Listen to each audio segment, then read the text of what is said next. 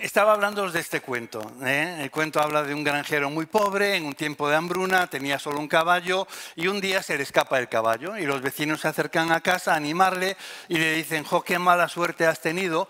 Y este granjero, de una forma muy estoica, les contesta, bueno, quién sabe si será bueno o malo. Al día siguiente el caballo regresa y no solo regresa el caballo, sino que viene con otros siete caballos salvajes a los que se había unido y como no encontraban pastos, este caballo conocía que en la granja había que comer y eh, volvió al establo trayendo estos siete caballos salvajes que entraron con él en el establo y el hijo del granjero al verlo cerró la puerta de tal manera que de repente se vio de un día de no tener caballos a tener ocho caballos.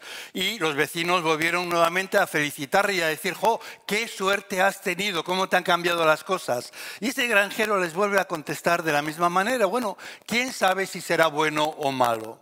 Al día siguiente, el hijo, tratando de domar uno de los caballos salvajes, este brinca y hace que caiga descabalgado de la grupa de una forma violenta y se rompe una pierna. Y nuevamente los vecinos al enterarse le comentan, jo, qué mala suerte. Y él vuelve a contestar de la misma, de la misma manera, ¿quién sabe si será bueno o malo? Al día siguiente resulta que vienen unos eh, oficiales eh, reclutadores del ejército reclutando a jóvenes para la guerra de forma forzosa, pero cuando encuentran a este joven lesionado con la pierna rota, pues evidentemente lo eximen. Y los granjeros o los vecinos nuevamente vienen al granjero a decirle, jo, qué suerte, ¿verdad? Y él vuelve a contestar de la misma manera, ¿quién sabe si será bueno o malo?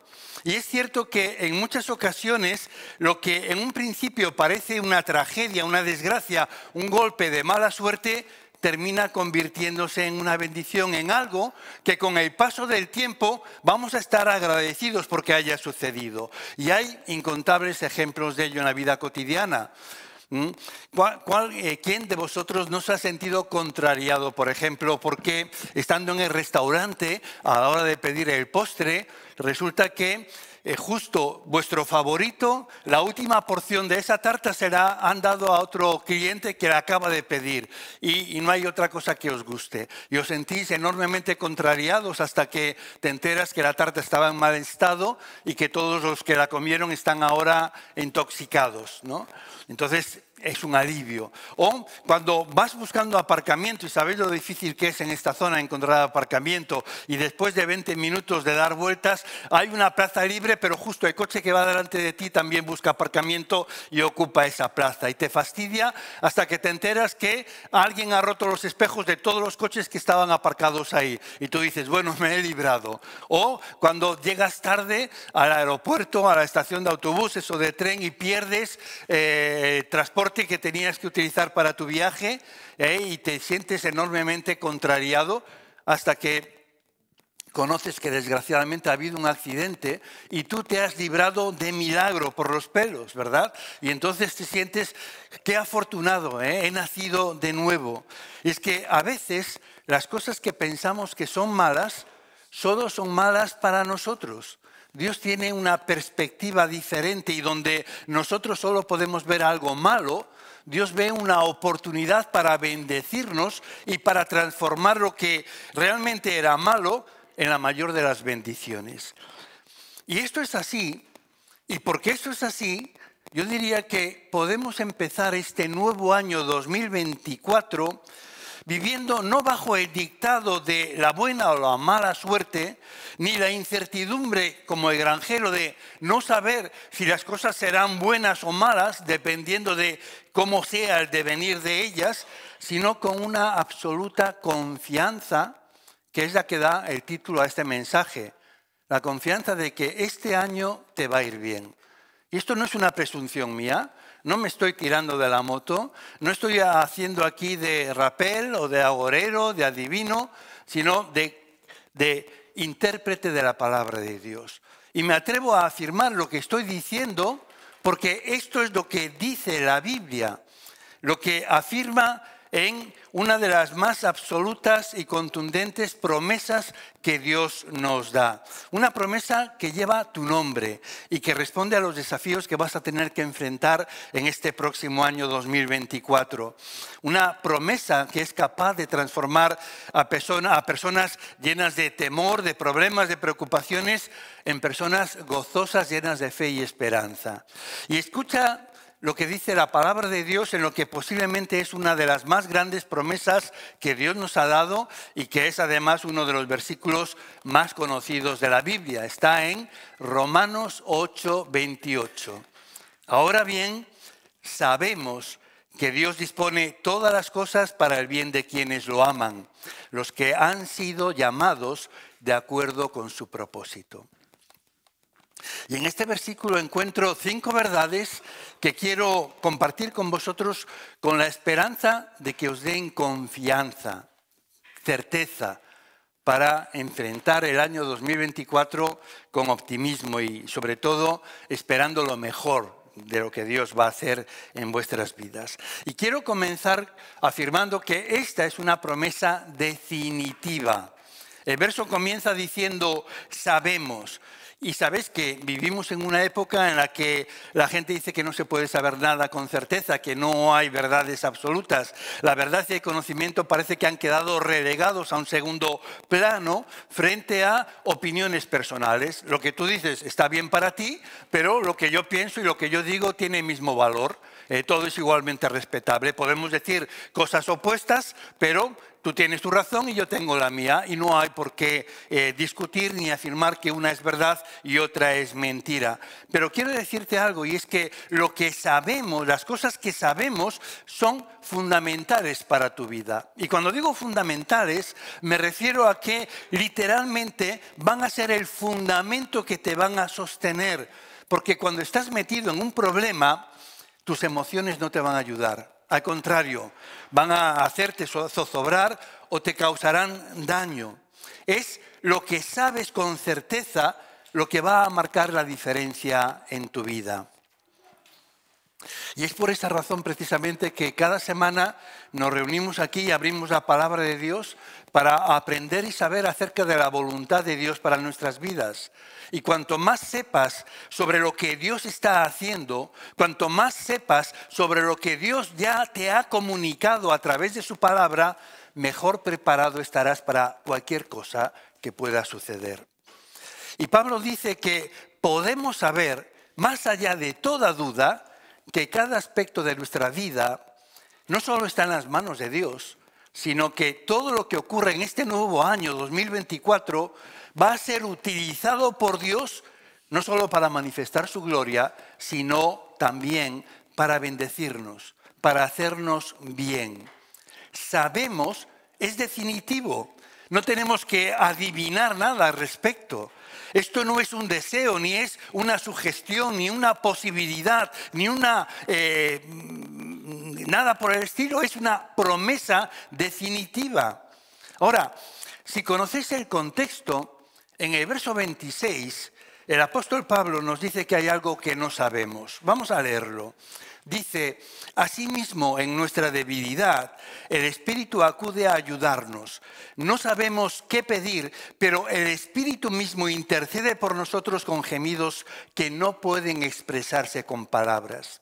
Y la proximidad de estos dos versos, uno hablando de lo que sabemos y el otro de lo que no sabemos, no es accidental, sino que precisamente lo que hacen es describir el difícil eh, eh, recorrido que tenemos que hacer como creyentes, las paradojas entre las que nos tenemos que mover, porque es cierto que en último término, sabemos lo que Dios va a hacer en nuestras vidas. Sabemos que hemos pasado de muerte a vida. Sabemos que tenemos vida eterna porque tenemos al Hijo y la vida está en el Hijo. Quien tiene al Hijo tiene la vida. Sabemos que Jesús está preparando lugar para que nosotros estemos donde Él está. Sabemos todas estas cosas, sabemos que no hay nada que nos pueda apartar del amor de Dios, que para aquellos que están en Cristo Jesús no hay ninguna condenación. Sabemos esto que va a ocurrir en el futuro, por lo que podemos no tener miedo al más allá, a la muerte o al futuro, en ese sentido genérico. Pero las cosas cotidianas, el cómo cada día Dios va a manifestar en nuestra experiencia su voluntad, lo que Él quiere hacer, no solo es que muchas veces no lo sepamos, sino que a veces ni lo entendemos, ni sabemos cómo orar por ello. A veces somos muy contradictorios. Oramos pidiendo que Dios nos haga, nos permita eh, ver más de su poder o que obre de una forma eh, más poderosa en nuestras vidas y a través de nuestras vidas, pero luego tenemos un problema o tenemos una dificultad y oramos para que el Señor nos libre o nos quite ese problema. Y el Señor nos tendrá que decir como a Pablo, es suficiente mi gracia, bástate mi gracia, porque mi poder se perfecciona en tu debilidad. Ponte, aclárate, ¿quieres ver mi poder en tu vida? Pues tengo que hacerte débil, porque ahí es donde voy a manifestar mi poder, no en tu fortaleza, sino en tu debilidad. Y es verdad, muchas veces oramos de forma contradictoria o no sabemos qué es lo que hemos de pedir. A veces oramos para que Dios sane a un enfermo, cuando la voluntad de Dios a lo mejor es llevarlo a su presencia y es lo mejor que puede ocurrir. No voy a abundar en ejemplos, ¿verdad?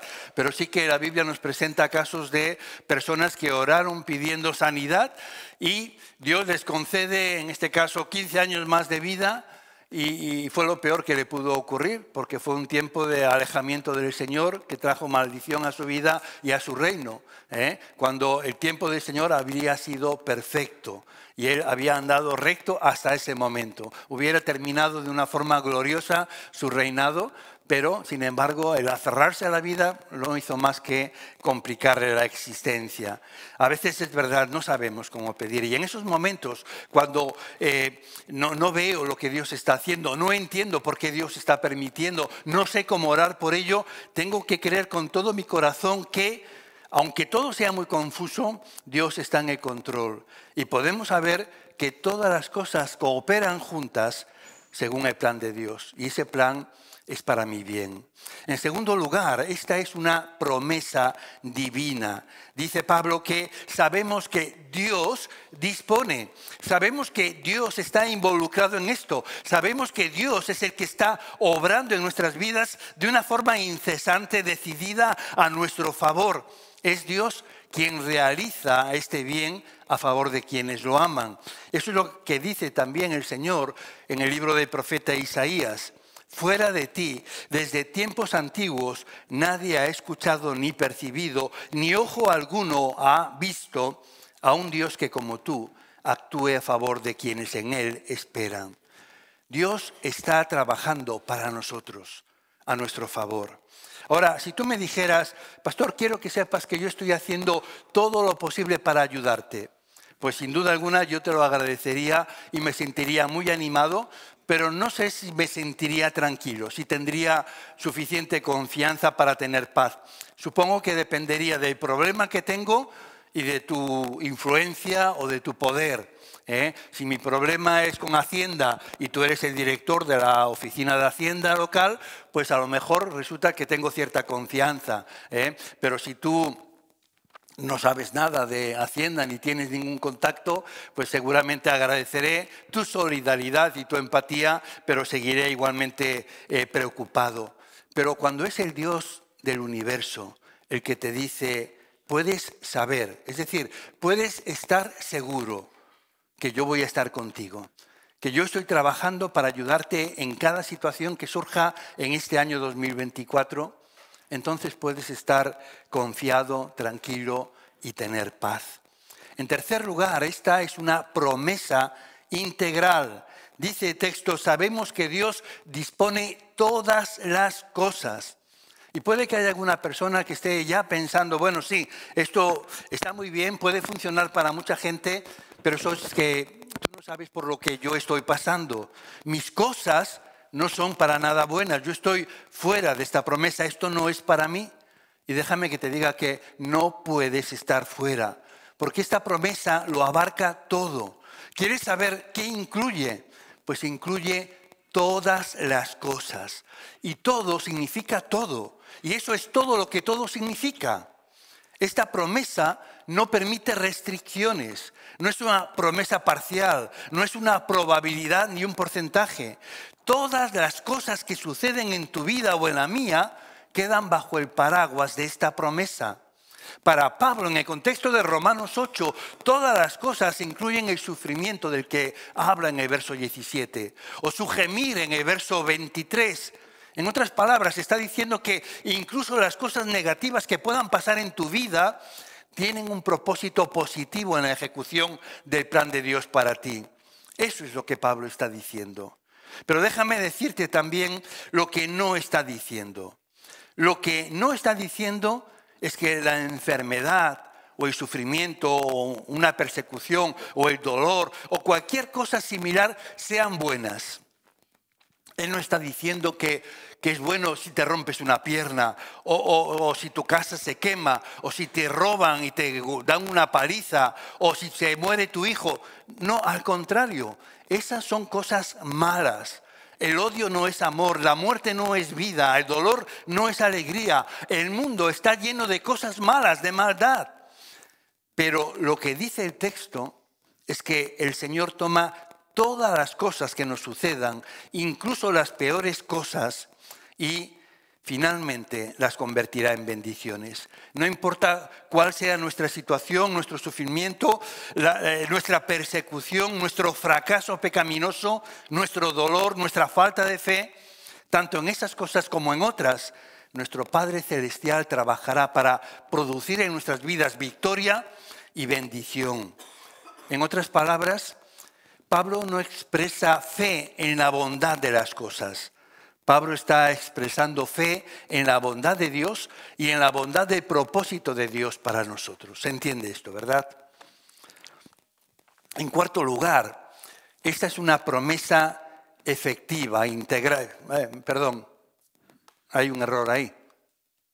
Vale, esta es una promesa efectiva. Esta hay que corregir en la diapositiva. Y me gusta mucho cómo la traduce la nueva traducción viviente. Dice, Dios hace que todas las cosas cooperen para el bien de los que lo aman.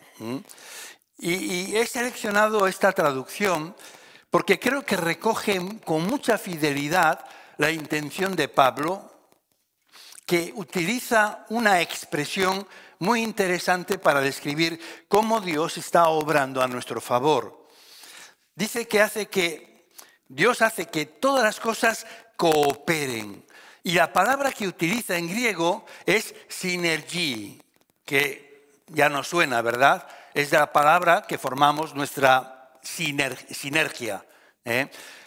¿Cómo traducimos sinergia? ¿Qué quiere decir sinergia? Bueno, la sinergia es cuando dos o más elementos cooperan, trabajan juntos para producir un resultado mucho mejor o mucho mayor que, que podrían producir trabajando cada uno por separado. ¿Se entiende esto?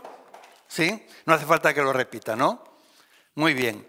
Así que encontramos algún ejemplo en la naturaleza, como por ejemplo la sal. Sabéis que la sal está compuesta por dos venenos, el sodio y el cloro. Cualquiera de ellos te mata si los tomas. Pero cuando los mezclas y los combinas, produce sal. Y la sal, especialmente antes, era algo enormemente beneficioso y eh, de un enorme valor. De hecho, de ahí viene el término salario, porque a la gente se le pagaba en sal. Era algo que valía como el oro. ¿eh? Y en ese sentido, fijaos que se compone de dos elementos que por sí solos serían negativos, perniciosos, ¿eh? serían mortales, pero juntos ¿eh? hacen que las patatas fritas sepan más ricas. En Levítico, cuando Dios está hablando a su pueblo acerca de las bendiciones que vendrán como consecuencia de obedecerle, dice en el verso 8, cinco de vosotros perseguirán a cien y cien de vosotros perseguirán a diez mil. Y de lo que está hablando aquí el Señor es de esta sinergia, de que, de que, Dios hará que las cosas cooperen para producir un resultado mucho mayor que, que podrían producir de forma independiente. Si os dais cuenta, os hago yo la cuenta, eh, la, operación matemática. Está hablando de que cuando cinco cooperan juntos, cada uno de ellos va a prevalecer sobre 20. Cada uno podrá con 20 enemigos. Pero cuando cooperan un grupo mayor, un centenar de personas, cada uno va a poder no con 20, sino cada uno con 100. Y este es el factor el potencial de la sinergia, que es la palabra que utiliza aquí Pablo cuando dice que Dios hace que todas las cosas ¿eh? cooperen entre sí para nuestro bien. Ahora es importante señalar aquí una vez más que esto no quiere decir que todo lo que va a ocurrir en tu vida en el año 2024 van a ser cosas buenas. No, no, no nos equivoquemos.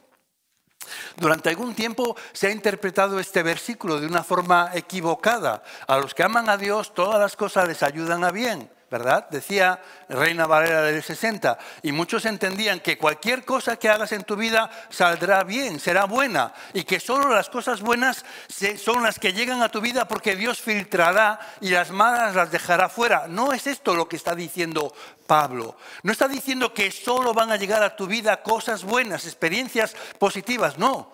Una vez más, está diciendo que hay cosas que van a hacerte doler, que te van a hacer llorar, en este 2024, cosas que te van a quitar el sueño, cosas que generarán en ti ansiedad, cosas que te harán caer de rodillas, cosas que preferirías no vivir y no pasar en este año. Pero la promesa de Dios es que Él va a coger todos esos elementos y los va a amasar. Va a hacer una mezcla de tal manera que el resultado de todas estas cosas va a redundar en tu bien. Al final estarás agradecido por ver cómo Dios ha producido algo que no esperabas eh, conocer ni ver. Pero Dios es el que está haciendo la mezcla. No, no, no, no es el azar, no, no es el devenir. Dios está trabajando en tu vida como un alquimista. En quinto lugar, esta es una promesa delimitada. No sé si habéis percibido que este es uno de los versículos más absolutos de toda la Biblia. Nos dice que sabemos absolutamente que absolutamente todas las cosas cooperan absolutamente juntas para un bien absoluto. Y esto es absolutamente maravilloso. Pero ahora viene la parte que no es absoluta. Escucha atentamente.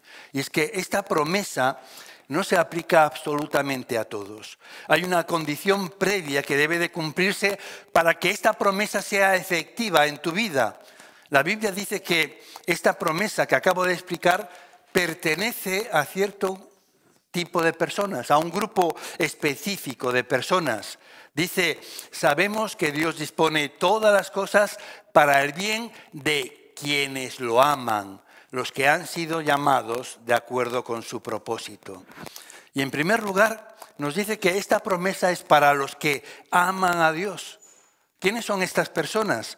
Bueno, me ha sorprendido muy gratamente descubrir con cuánta frecuencia la Biblia se refiere a los creyentes, a los hijos de Dios, al pueblo de Dios, con el término de los que lo aman. Y quiero compartir algunos versículos a modo de ejemplo, porque hay muchísimos más, pero para que veamos su uso en la Biblia, podemos ver en Deuteronomio 7.9, cuando dice, por tanto, reconoce el Señor tu Dios, perdón, reconoce que el Señor tu Dios es el único Dios, el Dios fiel que cumple su pacto por mil generaciones y muestra su fiel amor a quienes lo aman y obedecen sus mandamientos. En el Salmo 145 dice que el Señor cuida a todos los que lo aman. En 1 Corintios 2.9 dice que ningún ojo ha visto, ningún oído ha escuchado, ningún corazón ha concebido lo que Dios ha preparado para quienes lo aman. Y un poco antes va a decir que el que ama a Dios es conocido por él. Y Santiago, y con este término, dice, dichoso el que resiste la tentación, porque al salir aprobado recibirá la corona de la vida que el Señor ha prometido a quienes lo aman. Así que esta promesa para el nuevo año es para aquellos que aman a Dios. Por tanto, la pregunta que yo tengo que hacerme es, ¿realmente amo a Dios?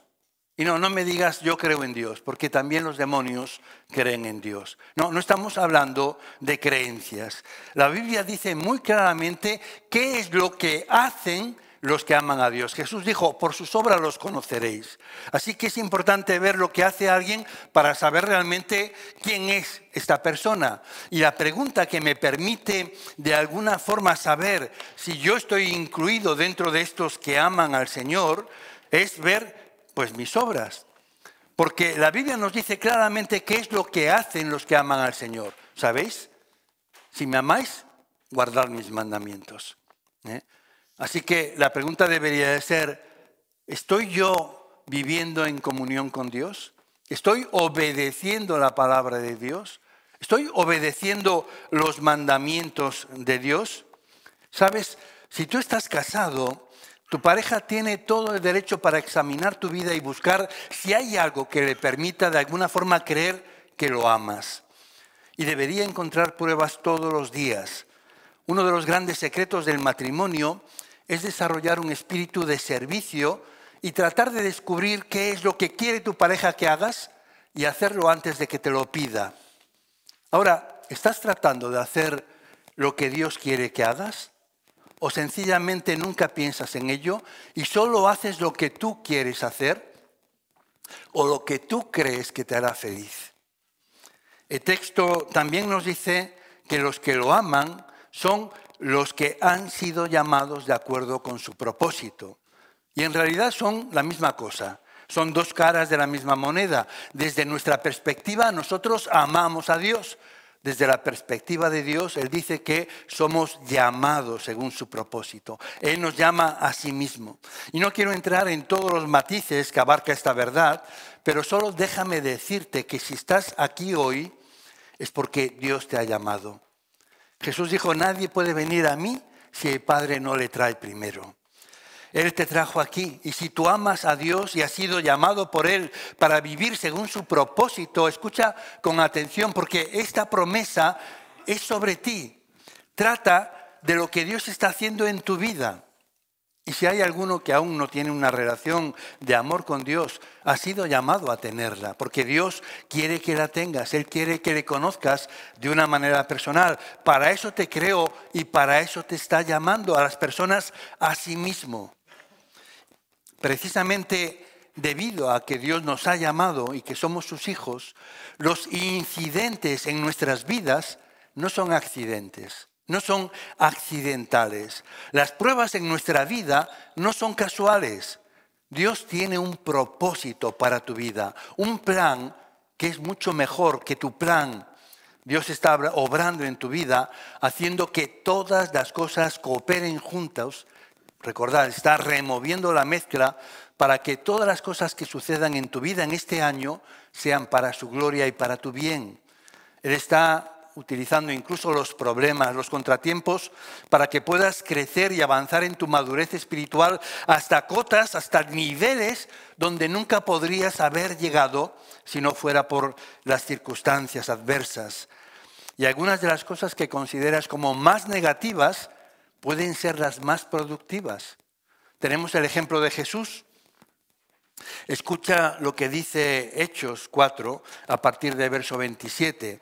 Pedro, predicando en Pentecostés, le dice a la multitud, en efecto, en esta ciudad se reunieron Herodes y Poncio Pilato con los gentiles y con el pueblo de Israel contra tu santo siervo Jesús, a quien ungiste para hacer lo que de antemano tu poder y tu voluntad habían determinado que sucediera. ¿Entendemos el texto? Al principio podríamos pensar que Jesús fue una víctima. Herodes, Poncio Pilato, los gentiles y el pueblo judío se juntaron contra él. Lo atacaron, lo vilipendiaron, lo, eh, acusaron falsamente, lo arrestaron, lo castigaron, le azotaron, lo crucificaron, lo mataron. ¿eh? Y él sufrió todo esto y parecería que era una víctima de todas estas personas. De hecho, durante mucho tiempo se popularizó la idea, especialmente en el nazismo, el fascismo, de que los judíos habían matado al Señor, ¿verdad? Y para nada. Si seguimos leyendo, lo que descubrimos es que Dios de alguna forma estaba involucrado en todo lo que sucedió. No en cuanto a que Él provocó la falsedad, la hipocresía de Pilato, la debilidad de carácter, la maldad de Herodes o de los saduceos, de los fariseos, de los escribas, de los sacerdotes, acusando en falso y provocando la muerte de Jesús. La Biblia nos enseña que Dios no es tentado ni tienta a nadie. Dios nunca nos va a llevar a una situación para empujarnos a hacer el mal, para hacer algo malo. No. Él nunca va a crear esta situación. Pero lo que está diciendo es que Dios tomó el mal más absoluto que Satanás pudo imaginar y lo convirtió en la mayor bendición inimaginable que podía ofrecer a una humanidad caída, la salvación eterna del pecado y de sus consecuencias. Dios quiere tomar todas las cosas y llevarlas al lugar donde le traigan honor a su nombre y bendición a tu vida. Y permíteme para terminar compartir con vosotros tres propósitos que personalmente yo me he propuesto para este año, fruto precisamente de la preparación de este mensaje. Y quizás tú quieras hacer los tuyos. Esto es un ofrecimiento. No hay ninguna obligación. Tú a lo mejor tienes los tuyos y dices, no, los míos son mejores. Vale, pues muy bien. Pero quiero compartirte estos tres propósitos a modo de conclusión. Y en primer lugar, estoy decidido a confiar en Dios en este año 2024. Creo que Dios es digno de mi confianza y esto me lleva a tomar esta decisión. En teoría es fácil de entender, ¿verdad? La promesa de que Dios hace que todas las cosas cooperen para bien. Es fácil de entender que si Dios es omnipotente, Él puede hacer todo lo que quiera, pero hacer que esta verdad pase de la mente al corazón Posiblemente es una de las tareas más difíciles que vamos a enfrentar en nuestras vidas. No se trata solo de creer en Dios, es creerle a Dios. Y él dijo en el libro del profeta Isaías, yo soy Dios y no hay ningún otro. Yo soy Dios y no hay nadie igual a mí. Yo anuncio el fin desde el principio. Yo digo, mi propósito se cumplirá y haré todo lo que deseo. Lo que he dicho, haré que se cumpla. Lo que he planeado, lo realizaré. No habrá nada que tú y yo enfrentemos en este próximo año o en este mismo año que vaya a sorprender a Dios. Y Él ya me ha dicho que todas las cosas están bajo su control y que Él va a hacer que todas las cosas colaboren para producir un bien en mi vida. Todas las cosas son todas las cosas, incluso las que tú digas, esto de aquí no puede salir nada bueno, pues Dios hará que de ahí también salga algo positivo. Eh, por eso decía eh, que elijo vivir mi vida no con miedo a lo que pueda sucederme, sino con fe a lo grande que va a ocurrir. Somos llamados a vivir una vida radical y, de fe. Y yo hago esta elección, confiar en Dios y no vivir con miedo. El segundo propósito es que estoy decidido a estar agradecido. A veces eh, luchamos, decimos, bueno, eh, si supiera qué es lo que Dios quiere que haga, ¿verdad? Como que, vale, ya tendría en norte, ya sabría eh, a qué decir que sí y a qué decir que no. Pero fijaos que ya lo sabemos. Dios dice claramente en su palabra, dad gracias a Dios en toda situación, en toda situación, toda situación, vuelvo a repetir, toda significa toda, y esto es todo lo que toda significa, ¿vale? Porque esta, esta es su voluntad para vosotros, para mí también. Que demos gracias a Dios en toda situación, en cualquier situación que nos encontremos en este año, es la voluntad de Dios para ti, para ti, para ti, para, para cada uno de nosotros. Ya lo sabes, ¿no? Esta es la voluntad de Dios para ti. Dad gracias en toda situación. Muchos autores sugieren llevar un diario de bendiciones. Y eso es algo que te puede ayudar a salir de toda la negatividad que hay en nuestro mundo y en nuestras vidas. A veces estamos tan enfocados en lo malo que nos amargamos. Y una vez que estamos amargados, la planta de la amargura crece tanto que lo llena todo y ya no nos deja ver nada más. Además es contagiosa. La gente que está a nuestro lado también termina amargándose. Y al final parece que todo el mundo está lleno de amargura. Pero no es verdad. Y tenemos que cambiar el enfoque.